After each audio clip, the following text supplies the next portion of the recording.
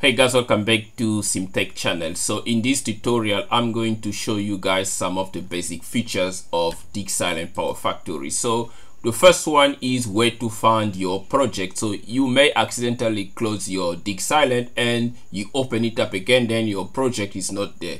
Well, do not worry, it's easy. Just come into your data manager here and you're gonna see the list of projects that you've been working on, your network diagram and everything okay? Here you can create folders as we said already in the previous tutorial. So if you want to open any one of these uh, project here you just click on it and then you say activate right?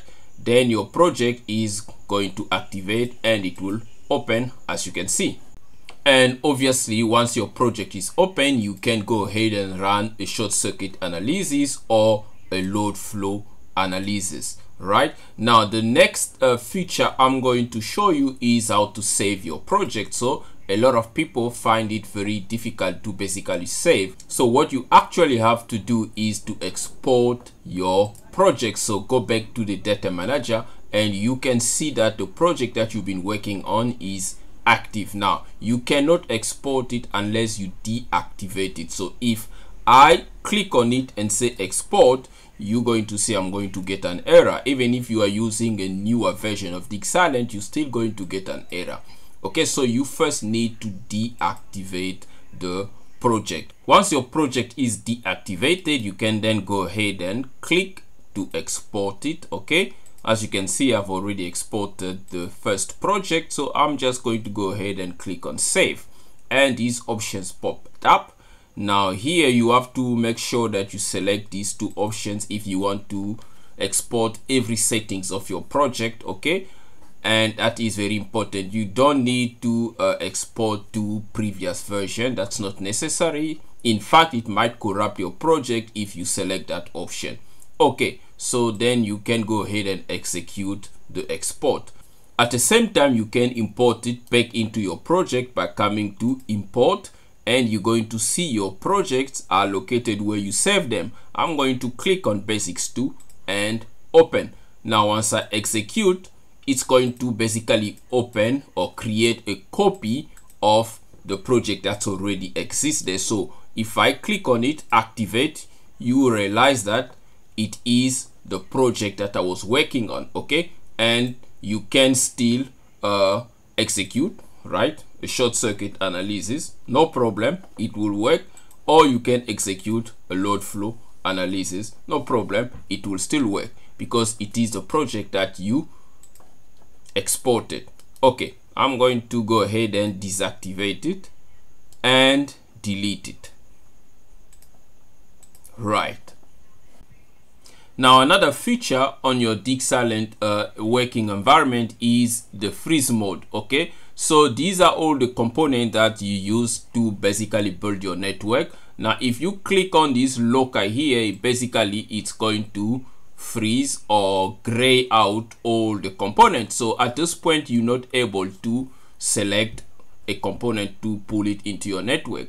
If you want to unfreeze it you just click on that local at the same time you can also do it here by basically uh, hiding it okay? So that extend your window environment where you're going to be building your network. So these quick features can basically enhance your productivity in DigSilent. now another good features of DigSilent is the ability to basically make duplicates of components. So let's say we're working with this transformer here and we already know all the parameters that we've entered in this transformer okay? Now we want to make a duplicate basically add another transformer across. Now the long way will be to pull in another transformer that basically you have to connect from one bus bar to another and then go back into the settings start from scratch to enter all the parameters.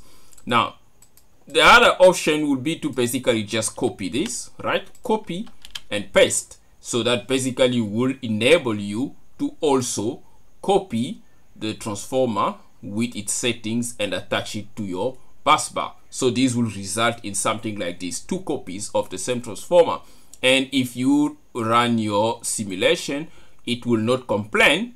It will basically just drive. As you can see we were pulling uh, a 13 megawatt from one transformer from a single transformer now since these two transformers are basically equal now they are dividing the load 6.5 and 6.5 okay? So if you add another transformer right if you add another transformer here they're going to also divide the load equally okay? Let's go ahead and add this transformer. We need to add another cubic okay? Because we've run out of space there now when we run this uh, load flow analysis again you can see that now they are driving 4.3 megawatt 4.3 megawatt each right? Because these two transformers they have exactly the same settings. Now remember this goes with the conditions uh, in which you have to put transformers in parallel. They must have the same turn ratios they must have the same primary and secondary voltage and so forth and so on. This is why they are able to divide the load right equally and perform well now if you do not want to make these duplicates right which this is good for illustration okay but if you are running a giant network okay a big network with lots of component and you are running out of space well what you can do is i'm going to remove it okay as you can see three transformer they were driving 4.3 each so i'm going to go ahead and just cut it and come back into this transformer here and use this feature here parallel transformers. I'm going to go ahead and put three there okay and say okay. Now by the way guys please if you find this tutorial useful don't forget to subscribe to CMTEQ channel and give this tutorial a thumbs up. That will be highly appreciated. Now uh, coming back to the tutorial i'm going to then run this okay? Now here you can see that uh, the transformer is basically driving a 13.0 megawatt. Now believe you me we are running three transformers right in parallel okay? But the total power that is being driven by these three transformers is 13.0 megawatt. Now look at the loading right? Look at the loading of the transformer. The loading is 18.1 so they are dividing the load right equally by 3 now if i stop this okay if we stop this uh, simulation we come back in here and we reduce this by 2 okay?